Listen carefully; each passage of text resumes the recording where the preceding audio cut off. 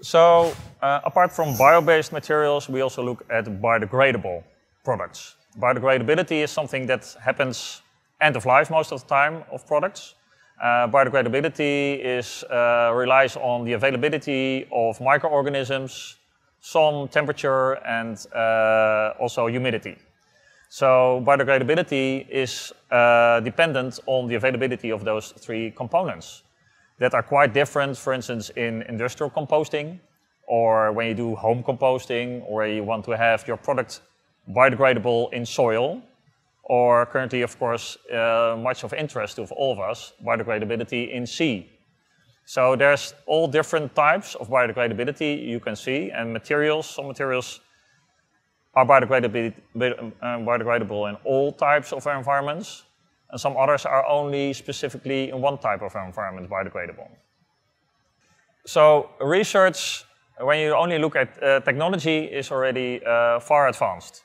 We already can make uh, materials that are biodegradable in soil, but also materials that are uh, biodegradable in seawater.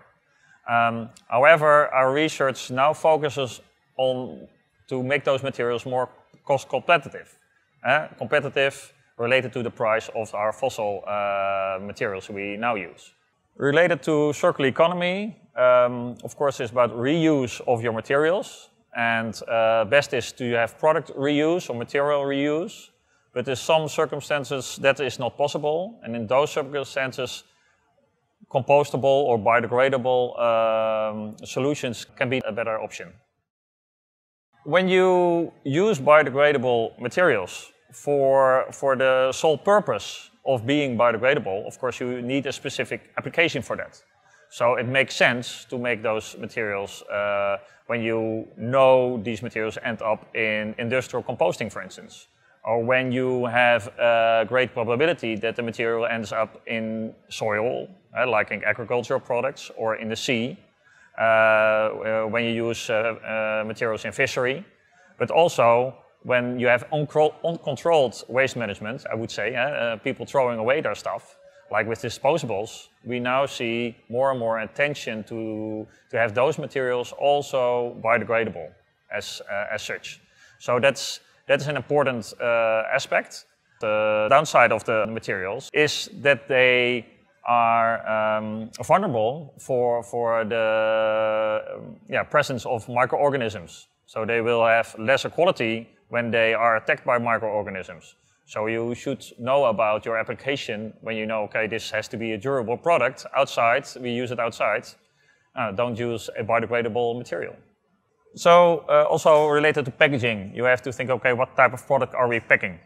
Uh, is there a lot of uh, moist combined with microorganism uh, activity uh, from the product you want to pack or from the environment you have this packaging uh, in, in, in the, the, active life, I would say.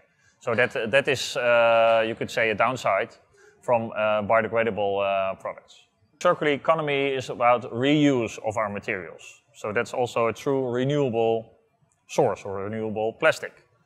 Reusing a plastic is uh, possible because it's a thermoplastic material. However, when you start mixing different polymers together, the recycling of those plastics uh, becomes more difficult. So you want to have the materials separated. So that is for uh, different uh, fossil-based plastics like PE and PP. You want to separate those, but also is the case for uh, combining uh, PE with, uh, for instance, PLA. You don't want that to happen because it is detrimental for recycling as such. But mixing of plastic is not mixing biodegradable plastic with a fossil plastic. It's you want to separate them all.